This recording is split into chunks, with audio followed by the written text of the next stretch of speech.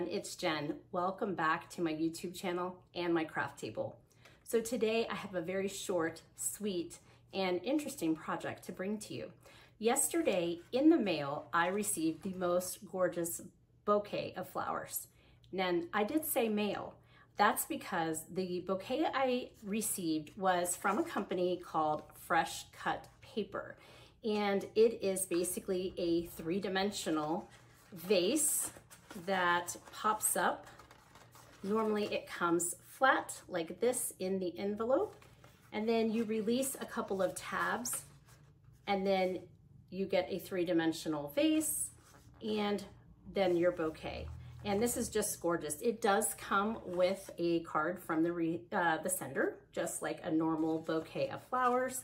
And the envelope is gorgeous. So I was actually, originally I was just gonna throw the envelope away and something stopped me and I decided that, wow, that envelope is just as gorgeous as this bouquet of flowers. And it actually would be a great piece of art on the wall in the classroom. So what I've created is the artwork using the cardboard envelope that those flowers came in. Um, in this video, you will see how easy it is to create something like this with a frame, some really nice backdrop paper. You could use scrapbook paper, you could use cardboard envelopes, etc., um, and adhesive vinyl. Um, toward the end though, you'll see total relatable moment for any crafter. The adhesive vinyl decided not to play very nice in the end, it worked out great. I did go ahead and leave that in the video just to show you that sometimes when we craft, they don't really come out perfect and that's okay. Um, you just stick with the project, you, you stick with your vision and ultimately it comes out the way you planned. Or maybe your new plan is better than your original one. So without further ado, let's go ahead and hop into the project and get started what I've done is I have cut this down to size to fit this gallery frame that I have here. And it's just going to slide in underneath um, the top piece of glass. So, so I've got one piece of glass here, one piece of glass behind, and then this will just slide in like this this gets screwed back on. There is a hanger on the back and the glass that is on the front, we are actually going to put some vinyl on with a really nice saying for our craft space. So that is why I have some, just some white vinyl here, some transfer tape, scissors, weeding tool, and of course a measuring tape.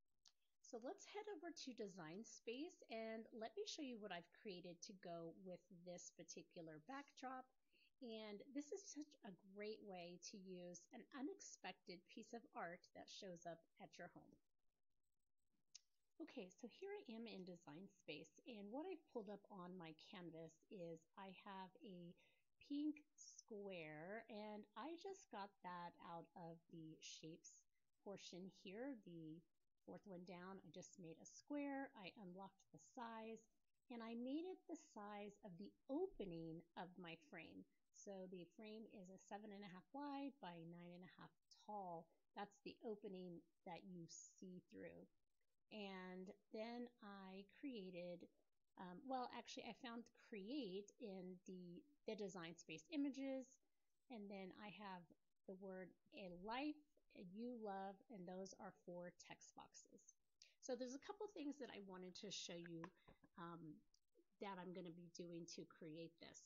So let's move the create over here. And I, I do want it quite large. Um, I am going to center it horizontally like this. Actually, that was pretty good. And then I have um, what I want to do is turn this uh, into kind of a um, arched shape. So I'm going to come up here to warp and I'm going to click on number one and I'm just going to kind of move it down a little bit and check and see if I like the arch of that. And actually, let's move this back over here so we could see it. So we want create here and let's go back into warp and see if we want it a little bit more. Actually, I think I think 13's pretty, well, I don't know.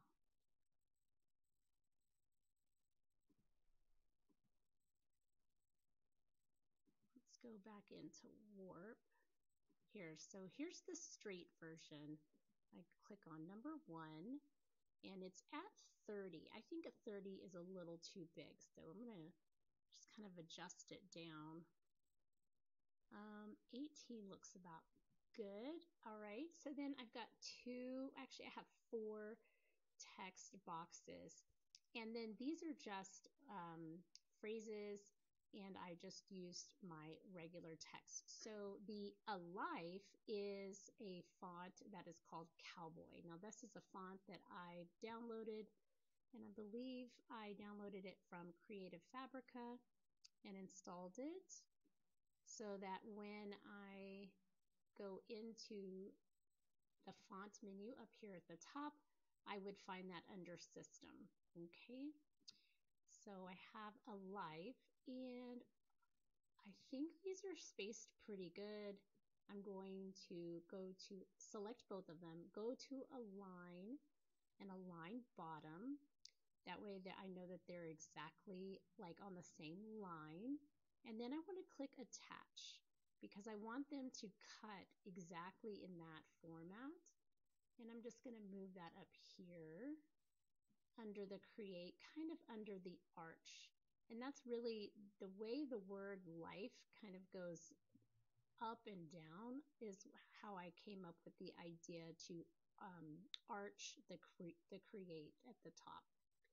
And then I have um, the you and the love. And I think, let's see, I want to make you just slightly bigger, not too much.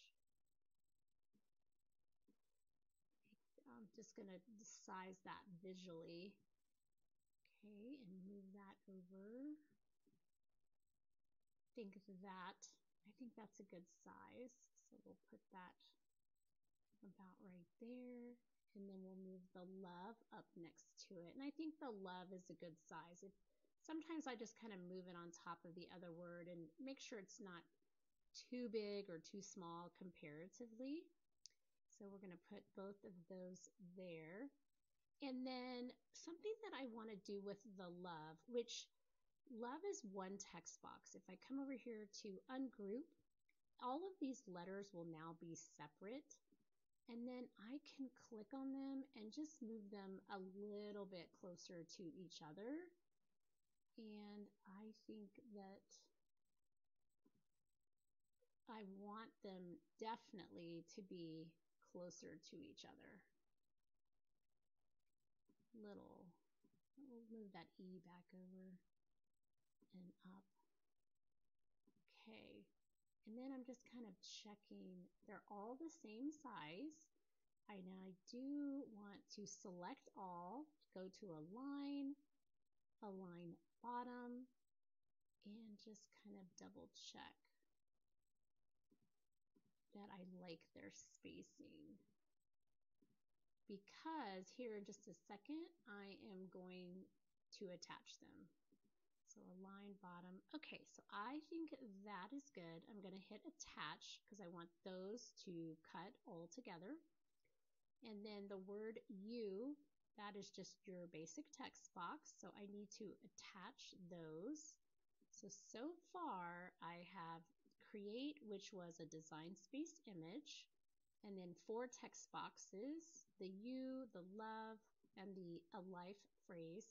Each one of those are individually um, attached um, so that the letters will cut all together. And then I do want to align the you and the love. Now when I do align bottom, that's what that does. So let me go back up and do a line top.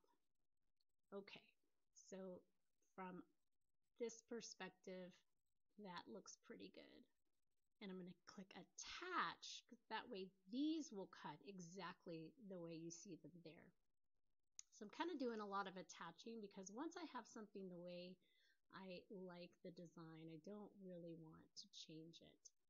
Okay, so now vertically, I just want to see if that is a good placement vertically. Kind of looks like there's about three, and then here, let's see, that'd be, well, about two and a half. So I think that looks good.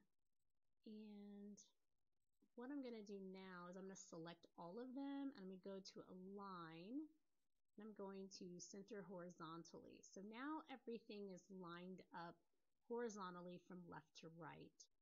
And I want to I want to attach those just like that. So now when I bring this over here on top, it'll look like this. And I can place it a little bit closer to the bottom, closer to the top, in the middle. So I, this is how it'll be oriented on my frame. So I think this is a pretty good size. And I just, I love that. I think it's going to be wonderful. Okay, so the next thing that I want to do is want to check this out in the make menu. So I'm going to go ahead and hide the pink uh, box. We don't need to cut that. That just represents the, the uh, cardboard that's in the frame. And I'm going, going to go ahead and click make. Oh, it wants me to save. So here, let's see. Um, create the life you love and I'll hit save. Now it'll go to my make screen. And I just want to make sure that I have everything the way I need it. So this is going to cut out exactly like this, which is great because I really just need to get a piece of vinyl that is about, um, it looks like seven by eight. And um, let's go ahead and get that ready so that we can cut that out and get this onto our frame.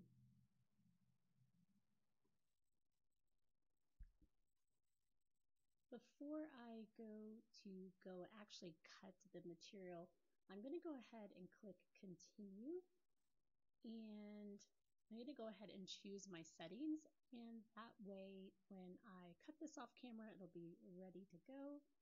I'm just going to connect to the maker and my material is just going to be the premium um, removable vinyl. And I want default pressure, that'll be fine. I do have my fine point blade loaded in. And so now I'm going to go ahead, load my mat, and follow the prompts to get this cut out. Okay, so we've got all this cut out and I am going to take this off of the mat by flipping it over and just peeling the mat away from the vinyl and I'll set that aside.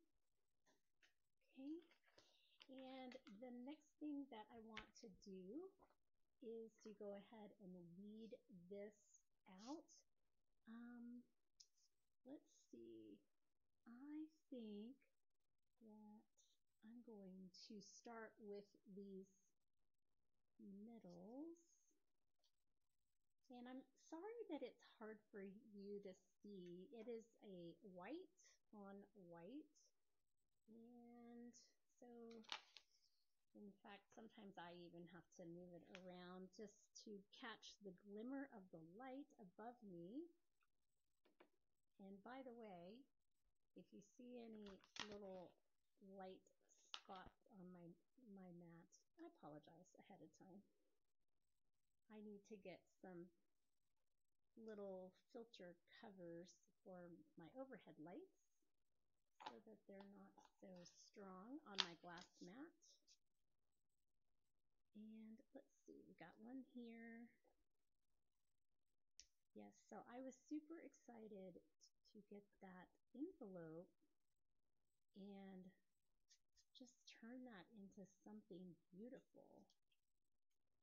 Because I, I have a really small craft space. In fact, it's really kind of like my, more like my dining area really, that we don't really use as a dining area.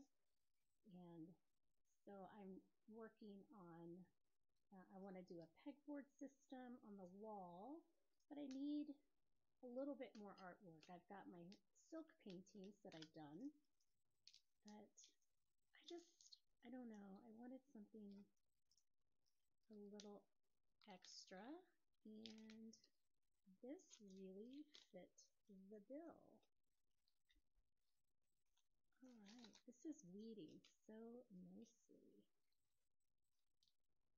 Actually, let me, that's a pretty big chunk. Let me just cut this off there. This one will just come straight up. And perfect. Okay, so you can actually see that pretty good. Create a life you love. And I just like, oh, here we go. I was just about to say, I like to double check that I got all the little pieces and parts. Okay, so now I'm going to take my transfer tape and I'm going, I'm going to actually cut this and piece it over here, but I am super excited about this little project. And I'm also excited about summer coming. We, I have about, oh, I have about 14 more days until summer break for me, which will be nice. And then, um, then I can do a lot of creating and a lot of hiking and a lot of organizing of my craft space. Okay, so I'm just going to start here in the top left. And I, especially large projects like this, I tend to not pull all the transfer tape off all at one time because I inevitably make a mess of that. All right, so it looks like, well, I'll just do, I'll do two inches. So I am curious, what do you have in your craft space that is like your favorite piece of decor? Your favorite piece of decor. I don't have a ton of decor in my craft space, but I'm working on remedying that.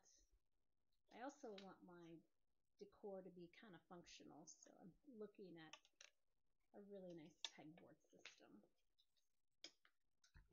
Okay, so I'll do a quick burnish on the front.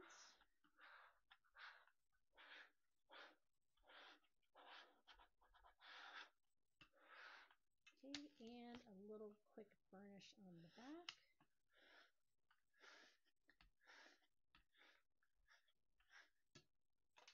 Okay, so I'm going to bring back in this frame. Okay, so, and I apologize ahead of time for any light spots that show up. So this is actually like a little gallery frame. My husband loves frames and I kind of stole it from him, but he wasn't using it. So it needed something pretty. And um, I just made sure it was clean. And this is the back piece of glass.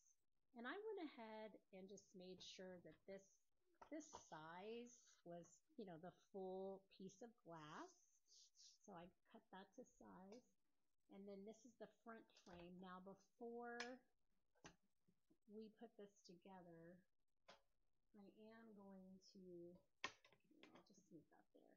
I do need to clean it with a little bit of rubbing alcohol, handling this glass, and I keep getting fingerprints all over it. So I'm going to try and just touch the corners.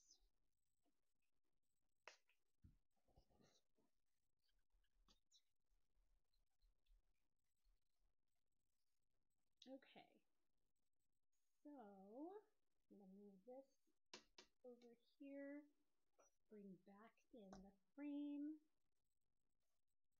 again with just the corners, slide that in like that. Okay, and then this piece just goes here at the bottom like that, but I do have to turn it over and put the little screws in. This is actually kind of a nice frame. I, I want to say he got it at Hobby Lobby. Um, he was displaying something. I don't know if he got it there or not. I think it was Hobby Lobby because he was asking me to go back to Hobby Lobby and get some more frames. Now, it also did not come with a hanger, so I added this um, little hanger, and I like these because they have a white, um, I don't really know what to call that, but it's a white piece here that actually holds the nail. It's already there for you, and it just makes for tapping that in really, really easy. Okay, so now got that and it's so clean. Okay, so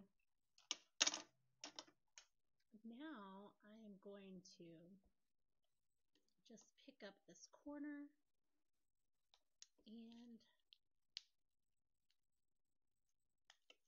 I'm only going to pull off the first inch or so because I want to make sure that I'm getting this where I want it to be.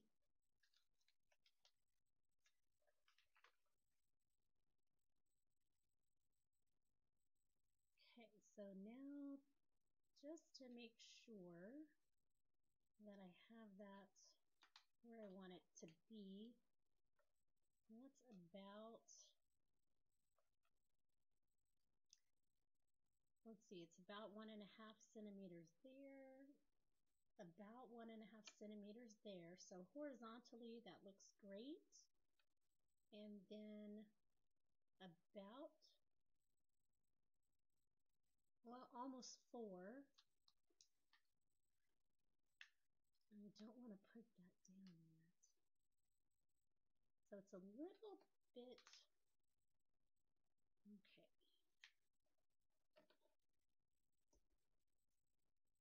I'm just kind of eyeballing. This is at about 3.75 and this is at about 3.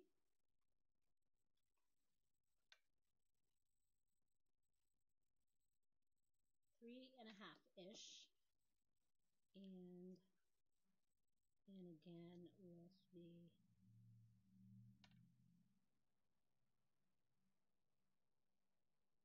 okay So I think that's good.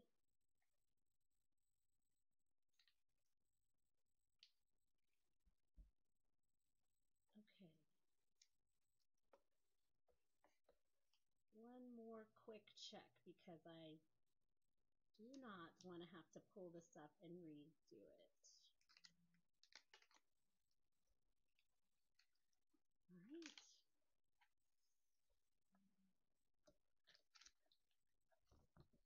And then this just kind of comes off like a handle.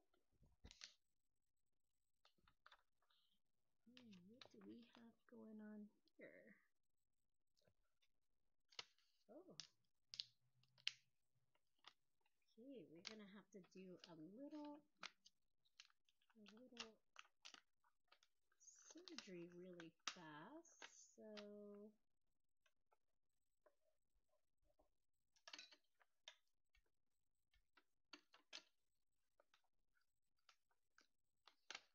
Okay, So I'm going to have to fix that corner there in just a moment. But in the meantime,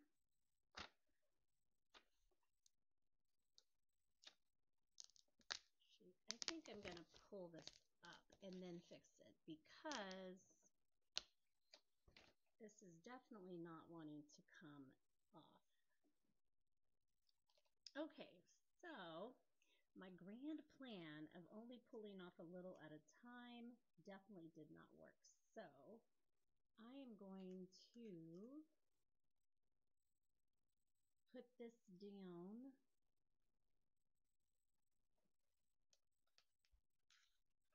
and then the rest of this can go. Oh, and we're missing an E.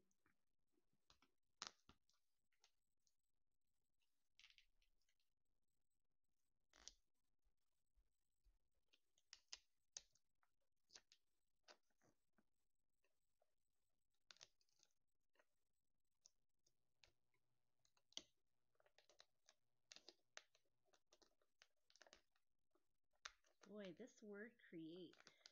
So sometimes we get a design that we absolutely love and it doesn't want, want to cooperate. So I will fix, I'll probably have to fix that one spot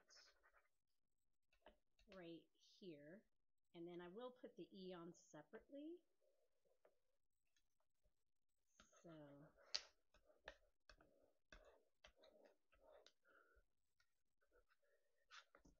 Okay.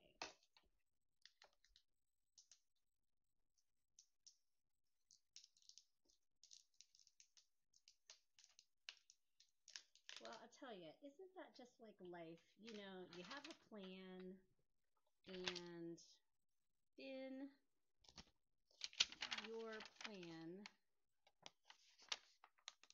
goes a little a little awry and well that's okay. We'll just adjust our plan.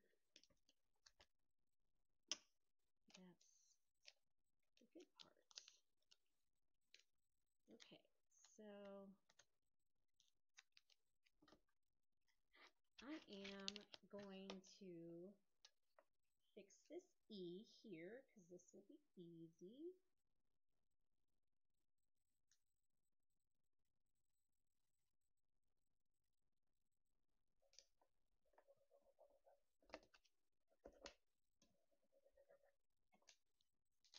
Okay, and I think this, and I may go ahead and take this word create off and fix it, you know, redo it, but I really want to see if I can make it work because there we go. I think